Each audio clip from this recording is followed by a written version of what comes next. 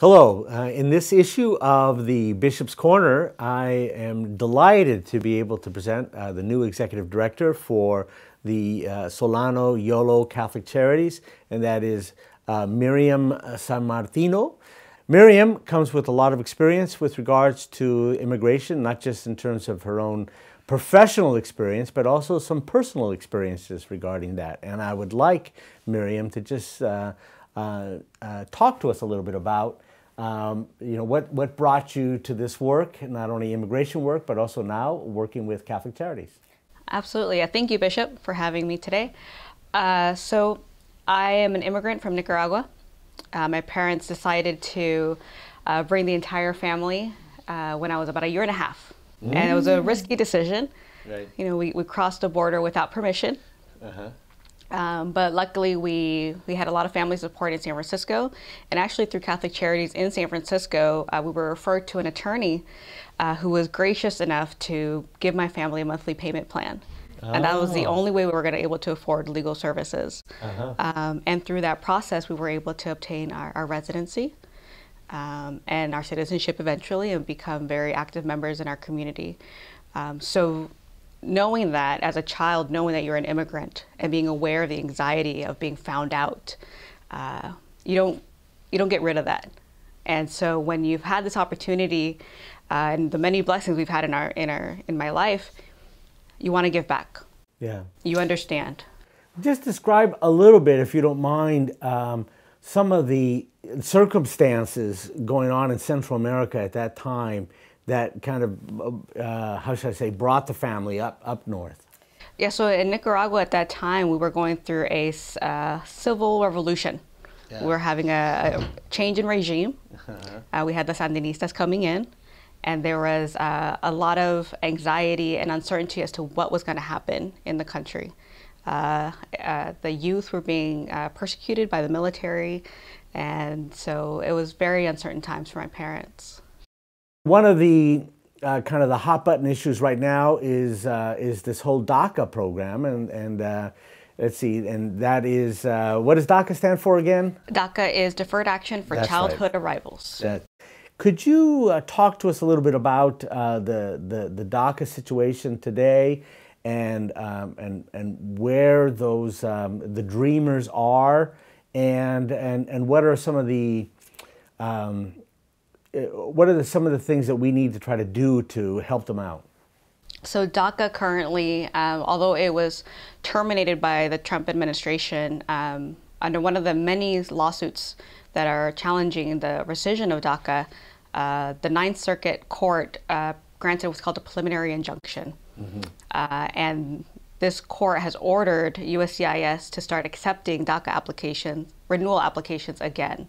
Mm-hmm. So for those that received DACA previously, um, and it's either expired, it has been terminated, or it's going to expire soon. Now they have an opportunity to apply again for the renewal. Mm-hmm. Um, prior to this decision, there had been a cutoff date, and only a certain amount of DACA beneficiaries were able to renew. Right. But under this new temp- uh, preliminary injunction, yeah other people are, or others um, can apply. Now, Miriam, well. could you just describe uh, in in general terms, you know, who are the the dreamers or the DACA applicants? Who, you know, in many cases, their uh, their situations are not that different from yours That's when you right. came. That's right. Uh, DACA beneficiaries are those that came to this country. Um, they were brought here. It wasn't a decision that they made. Right. Um, many of them very, very young age, and so they grew up in this great nation, only knowing this nation, and sometimes maybe even only knowing English. Yeah. And so this is a fabric of who they are. Mm-hmm. And and so that the and I think one of the things that um, again this was the DACA program began under the previous administration, Correct. the Obama administration, and and it was uh, you know it's really it, it's not a uh, it's not an amnesty program. Yeah. It really is in a certain sense it's more of a um, uh, it, it, gives it gives DACA uh, students some peace of mind while they're continuing to pursue their studies. Uh, but it, you know, it's it's an it's an administrative relief. It's not there isn't any um, uh, access to permanent status. Correct.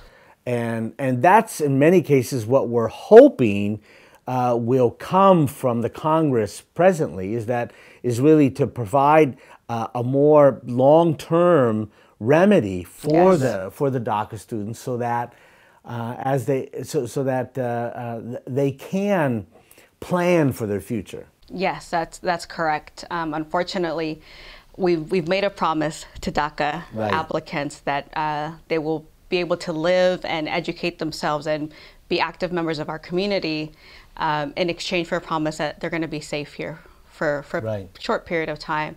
Uh, but a lot of DACA applicants or beneficiaries are um, highly educated, yeah. very active in the workforce. Mm-hmm. Uh, they love this country. Yeah. Um, and so, yeah, we, we really hope that there's more of a permanent relief for them. And I, you know, I, I, I guess I still hold out the religious hope that uh, Congress and the administration will get something done that will uh, help uh, DACA students out. I believe, you know, I, am hoping that there's there's a lot of negotiating going back and forth, and I, I it, it, it bothers me that in some sense that the the DACA students, who again I think in many cases are really um, are, are being held hostage by some of the negotiations that are going on.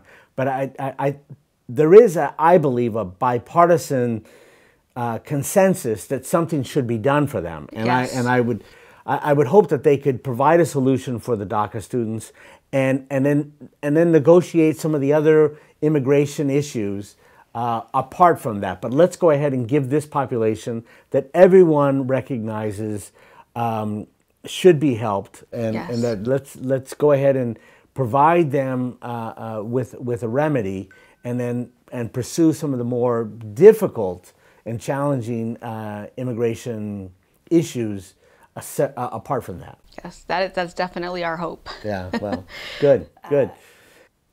So I'm hoping that uh, the, those of you who are part of the Catholic Legislative Network will uh, will try to be a voice for, for the Dreamers and for DACA applicants, and that we can uh, stand with them in giving them hope for the future.